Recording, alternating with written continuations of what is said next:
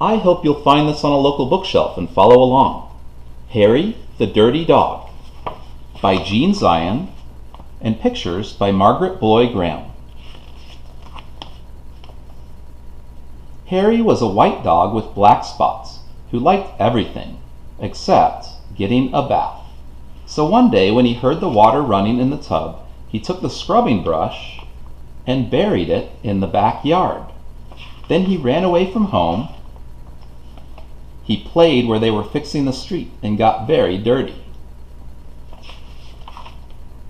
He played at the railroad and got even dirtier.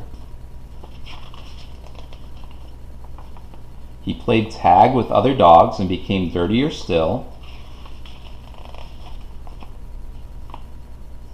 He slid down a coal chute and got the dirtiest of all. In fact, he changed from a white dog with black spots to a black dog with white spots.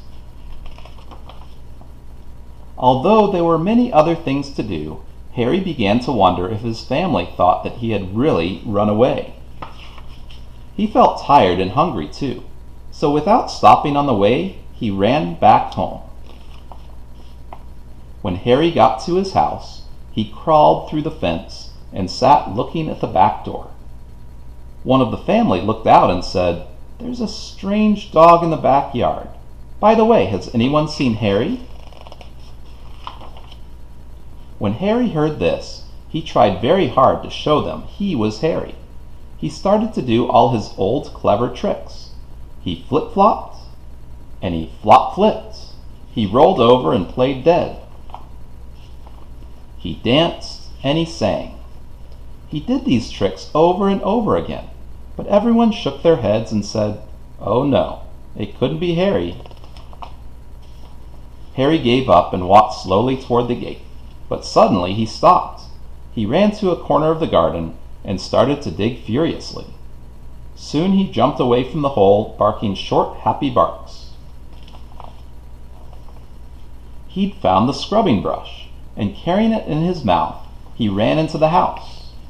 Up the stairs he dashed, with the family following close behind.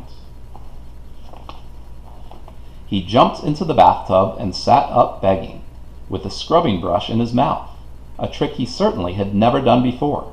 This little doggy wants a bath, cried the little girl, and her father said, Why don't you and your brother give him one? Harry's bath was the soapiest one he'd ever had.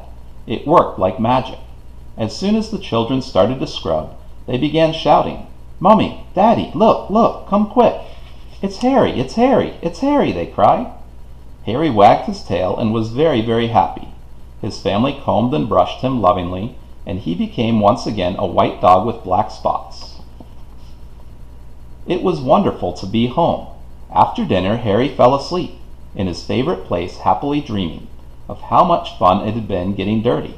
He slept so soundly, he didn't even feel the scrubbing brush he'd hidden under the pillow.